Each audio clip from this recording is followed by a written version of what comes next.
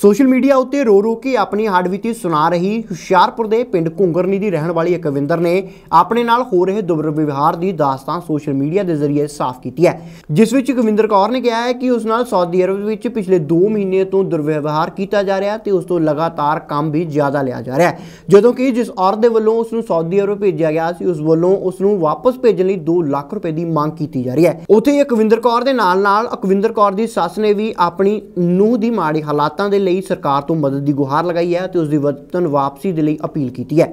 ਉਹ ਕਹਿੰਦੀ ਸੀ ਵੀ ਘਰ ਦਾ ਕੰਮ ਆ ਪੁੱਤ। ਇੱਕ ਜਾਣੀ ਬੁੜੀ ਬੁੜਾ ਆ। ਹੂੰ ਹੂੰ। ਇੱਕ ਦੋ ਉਹਨਾਂ ਦੇ ਨਿਆਣੇ ਆ ਘਰ। ਹੂੰ ਹੂੰ। ਵੀ ਰੋਟੀ ਪਕਾਉਣ ਵਾਸਤੇ ਮੈਂ ਜਾਣਾ ਆ। ਘਰ ਦੇ ਭਾਂਡਾ ਸੰਦ ਮਾਂਜੂਗੀ ਠੀਕ ਤੇ ਚੌਂਕਾ ਭਾਂਡਾ ਕਰੂੰਗੀ। ਮੈਂ ਇਸ ਕਰਕੇ ਮੈਂ ਬੀਬੀ ਮੈਂ ਚਲੇ ਜਾਣਾ ਆ। ਤੇ ਚਲ ਕੋ ਦੋ ਪੈਸੇ ਚਾਰ ਬਣੂ ਗਈ ਕੋਈ।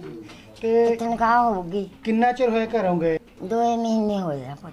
ਤੇ ਤੁਹਾਨੂੰ ਉਸ ਤੋਂ ਬਾਅਦ ਕੀ ਪਤਾ ਲੱਗਾ ਵੀ ਕੀ ਤੰਗ ਆ ਉੱਥੇ ਜੇ ਤੰਗ ਪਰੇਸ਼ਾਨ ਕਰਦੇ? ਤੁਹਾਨੂੰ ਕੀ ਲੱਗਾ ਪਤਾ? ਕਹਿੰਦੀ ਵੀ ਮੈਂ ਔਖੀ ਬਹੁਤ ਆ। ਹੁਣ ਕੀ ਚਾਹੁੰਦੇ? ਪਰ ਰੋਟੀ ਦੇ ਬਗੈਰ। ਵੀ ਤੰਗੀ ਜ਼ਿਆਦਾ ਹੀ ਹੁੰਦੀ ਜੀ। ਤੰਗੀ ਹੋਊਗੀ ਮੈਨੂੰ ਕੀ ਪਤਾ ਬੱਚਿਓ। ਘਰ ਦੀ ਹਾਲਤ ਹੈ ਬਹੁਤ ਜ਼ਿਆਦਾ ਗਰਾ- ਮਾੜੀ ਹੈ ਜੀ। ਗਰੀਬੀ ਹਾਲਤ ਹੈ ਜੀ। ਬੱਚੇ ਛੋਟੇ ਛੋਟੇ ਤਿੰਨੇ ਜੀ ਜਿਹੜਾ ਘਰ ਵਾਲਾ ਹੈਗਾ ਪਹਿਲਾਂ ਨਲਕਿਆਂ ਦਾ ਕੰਮ ਨਲਕਿਆਂ ਦਾ ਕੰਮ ਬੰਦ ਹੋ ਗਿਆ ਜੀ। ਉਹ ਹੁਣ ਜੀ ਐਨੇ 5000 ਦੀ ਨੌਕਰੀ ਕਰਦਾ ਜੀ। ਪਰਸੋਂ ਤੇ ਉਹ ਮਤਲਬ ਰੋ ਰਹੀ ਜੀ। ਮੈਨੂੰ ਵੀ ਕਿਸੇ ਨਾ ਕਿਸੇ ਤਰ੍ਹਾਂ ਮੈਨੂੰ ਇੰਡੀਆ ਲੈ ਲਓ ਜੀ। ਨਹੀਂ ਤਾਂ ਮੈਂ ਮਾਰ- ਨਹੀਂ ਮੈਨੂੰ ਮਾਰ ਦੇਣਾ ਜੀ।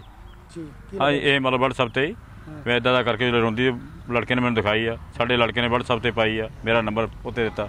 ਇਹ ਲੜਕੀ ਉਹ ਕਹਿ ਰਹੀ? ਲੜਕੀ ਕਹਿ ਰਹੀ ਮੈਂ ਇੱਥੇ ਬਹੁਤ ਤੰਗ ਆ ਜੀ। ਵੀ ਮੈਨੂੰ ਬਚਾ ਲਓ ਜੀ। ਉਹ ਚਲੇ ਉਹਨੂੰ ਇਹ ਕੀਤਾ ਜੀ ਮੈਨੂੰ ਭਗਵੰਤ ਮਾਨ ਜੀ ਬਚਾ ਲਓ। ਮੈਂ ਮਰ ਜਾਣਾ ਨਹੀਂ ਤਾਂ ਇੱਥੇ ਜੀ। ਇਹਨੇ ਮੈਨੂੰ ਮਾਰ ਦੇਣਾ ਜੀ। ਉਹ ਕਹਿੰਦਾ ਨਹੀਂ ਤਾਂ ਮੈਨੂੰ 2 ਲੱਖ ਰੁਪਈਆ ਦਿਓ ਜੀ। ਹੁਸ਼ਿਆਰਪੁਰ ਤੋਂ ਗੁਰਵਿੰਦਰ ਸ਼ਾਨੇ ਦੇ ਨਾਲ ਬਿਊਰੋ ਰਿਪੋਰਟ ਕੇਟੀਵੀ